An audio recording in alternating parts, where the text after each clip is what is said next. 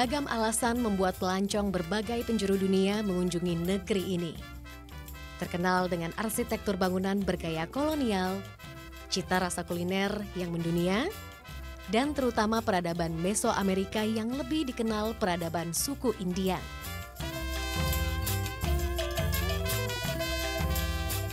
Lebih dari 25 situs budaya negeri ini juga tercantum dalam situs warisan dunia UNESCO. Salah satunya kota prahispanik Teotihuacan yang paling banyak dikunjungi. Begitu khas dengan keberadaan dua piramida utama, piramida matahari dan bulan. Dari atas piramida bulan ini terpampang kemegahan kota prahispanik. I'm in Mexico. Saatnya mendaki piramida matahari setinggi 64 meter ini. Seorang antropolog berkeluarga negaraan Indonesia, Fitra Ismu Kusumo, menemani petualangan saya menelusuri jejak peninggalan suku Aztec. Diperkirakan piramid ini berdiri sejak 2000 tahun yang lalu dan kini dikenal sebagai piramid terbesar se-Amerika. Namun, bukti-bukti sejarah belum ada yang dapat memastikan siapa pendiri bangunan bersejarah ini. Sampai akhirnya suku bangsa Indian Aztec menemukannya dan memberi nama Teotihuacan yang berarti tempat manusia menjelma menjadi dewa.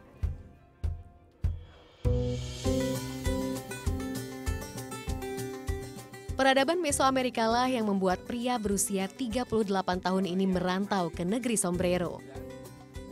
Namun latar belakang sebagai muslim membawa Fitra pada subspesialisasi lain, yakni antropologi agama yang fokus pada tema-tema muslim di Meksiko dan Amerika Latin. Yang terdaftar itu kira-kira abad 19 Hmm.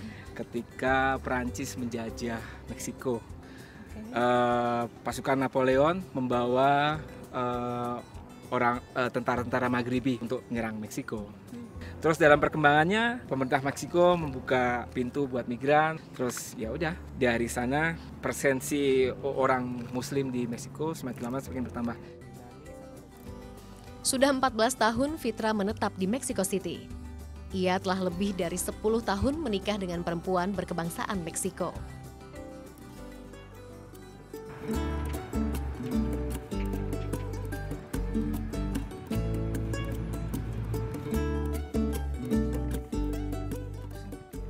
Inilah keluarga kecil Fitra.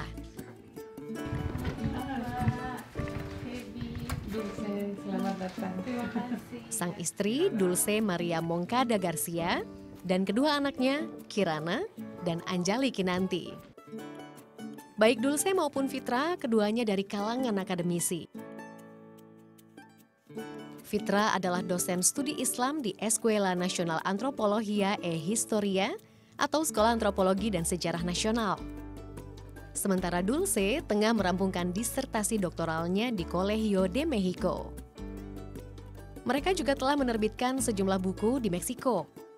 Dulce tertarik dengan masalah tenaga kerja Indonesia di Malaysia. Sementara Fitra banyak menulis buku tentang seluk-beluk Islam dalam bahasa Spanyol. Salah satu karyanya yang populer dan telah diadaptasi ke dalam bentuk buku digital adalah Islam untuk Pemula. Alhamdulillah, buku digital ini telah diunduh 40 ribu kali. Namun bukan berarti apresiasi yang selalu ia tuai. Tak jarang buku ini menuai kontroversi. Misalnya kemarin itu mungkin karena keingintahuan dan temanya kan kontroversi tentang Islam. Jadi karena ingin tahu mereka ya Google gitu kan Islam itu keluarnya buku ini. Terus di download lah. Misalnya kayak kemarin tuh aja yang di Paris peristiwa Paris itu yang download naik 600% naik 6 kali lipat. Wow. naik 6 kali lipat. Karena apa ya? Karena mereka ingin tahu. Tapi terus terang saya takut ketika ketika apa eh, nerbitin buku ini, kompilasi ini. Karena kan kalau saya salah, lu salah lu nulis tentang Islam kan tanggung jawabnya emang di atas. Ajaran Islam bukanlah hal asing bagi Dulce. Sebelum bertemu Fitra, ia sudah menjadi seorang mu'alaf. Saat menjalani studi S1 di Skotlandia dan tinggal bersama para mahasiswi dari Indonesia dan Malaysia, ia pun tertarik mempelajari Islam. Tahun 2000, Dulce mengucap dua kalimat syahadat di Solo. Ada kesempatan untuk belajar di UGM di Jogja dan saya tinggal di sebuah kos dan di samping kos ada masjid. Dan setiap saat ada suara azan di saya dibangunin. Dan kenapa saya mau tidur? Tetapi tiba-tiba saya saya terbiasa dengan suara azan itu. Dan sekarang itu adalah sesuatu yang saya dan yang saya sangat dirindukan. Setelah saya lihat uh, perlakuan orang Islam di sekitar saya, saya merasa bahwa Islam itu damai. Sekembalinya ke Meksiko, Dulce menyadari hidup sebagai seorang muslim tak semudah di Indonesia. Namun ia bersyukur memiliki suami yang mengayomi keluarga dalam hal keimanan. Ah, bersyukurnya saya bisa mengunjungi keluarga ini.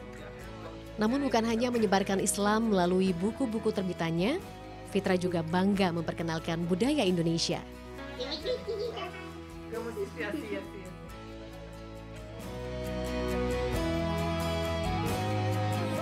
Malu dilihat banyak orang lagi.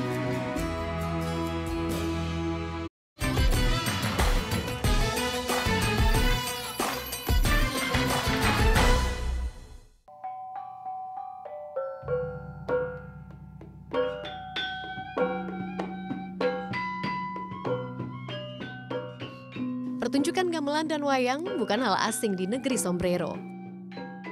Berbagai pemberitaan tentang kesenian khas Indonesia ini telah beberapa kali mewarnai pemberitaan media Meksiko.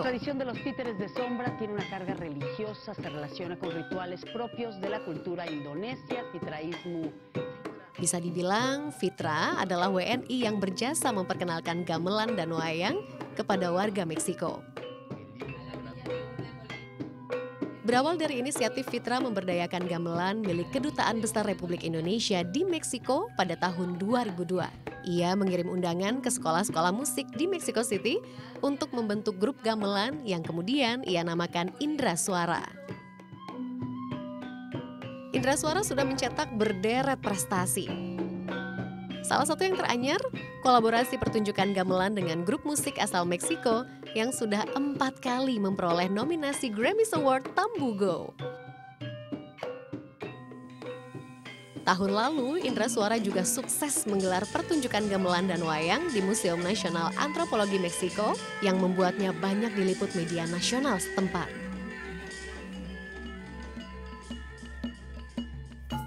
Por la magia del gigante surgió una niña de 6 años.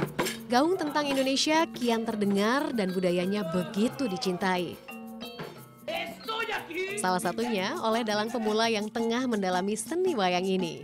I really love the music and it's something that I really feel attracted to learn. And then I know all the puppets and it's I really love more. Atmosfer yang begitu Indonesia rutin tergelar di rumah ini setiap minggunya. Muy bueno. Hanya dengan cara seperti ini, Fitra merasa dekat dengan tanah air. Ya bisanya caranya seperti ini. Kangen sama Indonesia dan orang Meksiko begitu bangganya dengan bangganya dengan kebudayaan mereka. Terus kenapa kita enggak? Dan kami pinginnya lihat di sini gamelan tuh dimain orang Meksiko. Kamu orang Indonesia juga harus bisa gitu. Harus bisa dilestarikan segala macam. Lewat Fitra pula saya mengenal warga-warga asli Meksiko lainnya yang memiliki antusiasme luar biasa terhadap budaya Indonesia. Graciela Lopez salah satunya. Ia memimpin sebuah grup tari Bali di Meksiko sejak awal 2000-an.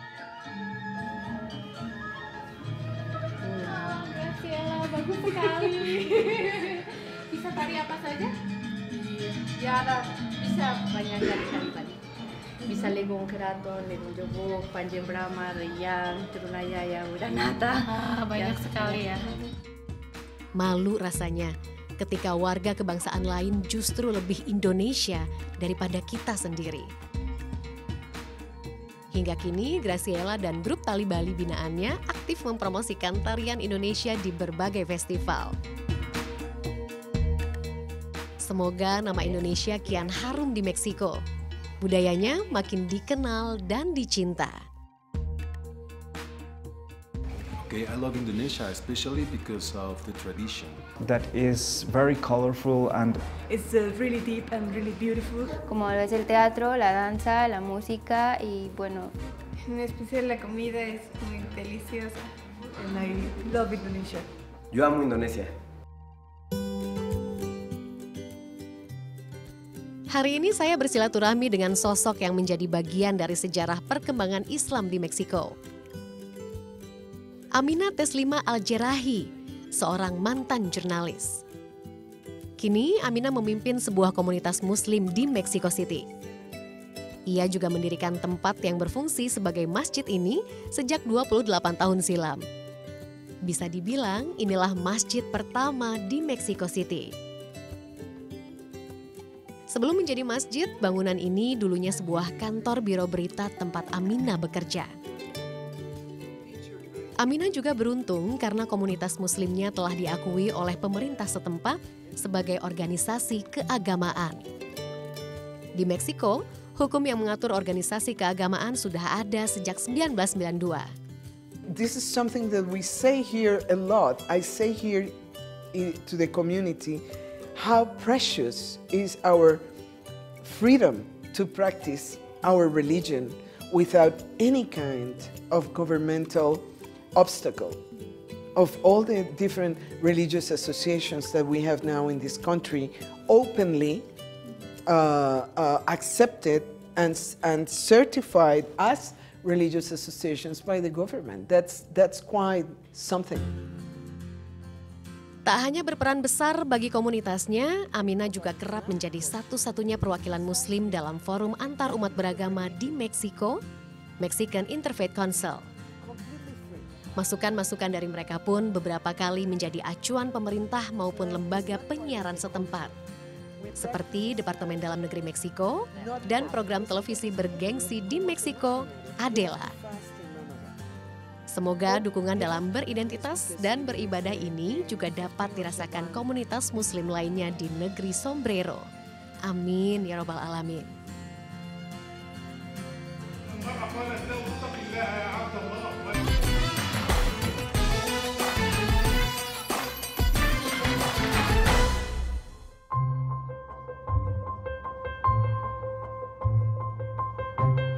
Layaknya Indonesia, Meksiko juga memiliki pengalaman pahit sebagai negara terjajah. Dan monumen Niños Héroes atau pahlawan muda ini menjadi simbol perlawanan Meksiko terhadap invasi Amerika.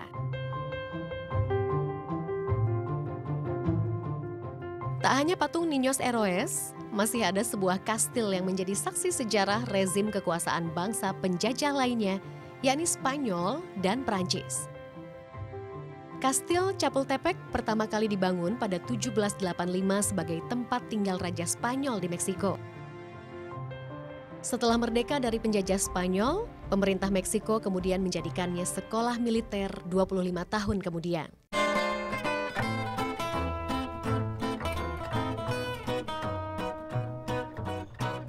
Setelah Meksiko benar-benar terbebaskan dari intervensi bangsa mana pun, kastil menjadi rumah bagi Presiden Meksiko ke-29, Porfirio Diaz. Kini fungsinya beralih menjadi museum sejarah nasional. Pengunjung dapat berkenalan dengan kehidupan para penguasa Meksiko terdahulu lewat interior dan ragam atribut istana yang dipamerkan. Selain wisata sejarah, Kastil Chapultepec juga menjadi salah satu tempat terbaik untuk menikmati pemandangan ibu kota. Nah, saya sudah berada tepat di atas patung Niños Héroes tadi dan di sini saya bisa melihat pemandangan Taman Chapultepec yang begitu luas dan memang dikenal sebagai taman terluas di Mexico City. Meksiko adalah negara sekuler dengan mayoritas penduduk beragama Katolik. Sementara umat muslim turut ambil bagian dalam komposisi 1,9 persen kategori pemeluk agama lainnya di negeri ini bersama Yahudi, Hindu, dan Buddha. Sebagai seorang muslim, akses terhadap masjid adalah sebuah tantangan. Masjid hanya terdapat di kota-kota tertentu.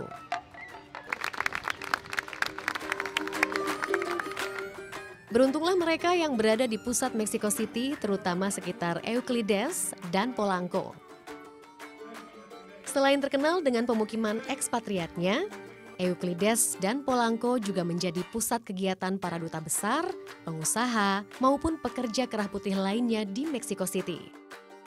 Di tengah kehidupan elit warga Polanco terdapat sebuah masjid yang dikenal paling strategis di kawasan Mexico City karena menjadi tempat ibadah muslim dari berbagai suku bangsa yang beraktivitas di kawasan ini.